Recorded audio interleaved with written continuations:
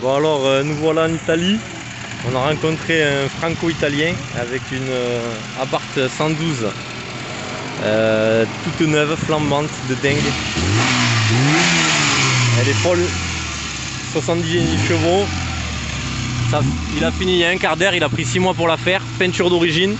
Euh, ça c'est les vieilles plaques en Italie. Il a des jantes type Gotti mais c'est introuvable en 13. D'ici c'est. Il m'a dit le nom mais je sais plus. Elle est rabaissée. Rabaissée, moteur euh, neuf. Boîte 5 à la place de 4. Après il a juste une ligne.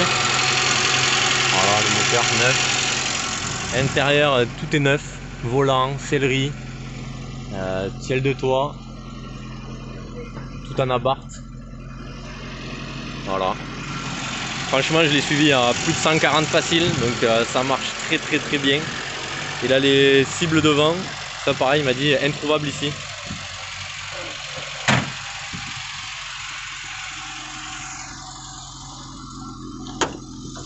C'est léger, hein. ça pèse combien ça?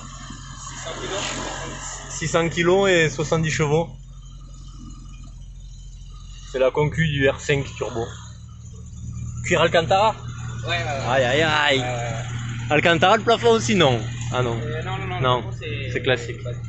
C'est euh, c'est introuvable ça, le, le plafond rouge c'est introuvable. D'accord. Il n'y a pas de Sinon, il poste. me manque- maintenant il me manque les manométries de la. Les Ouais.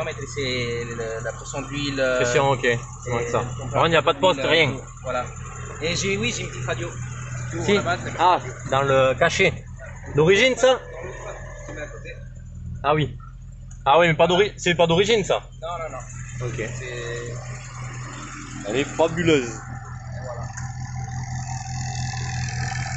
Rural bien sûr. Je vais passer le stick.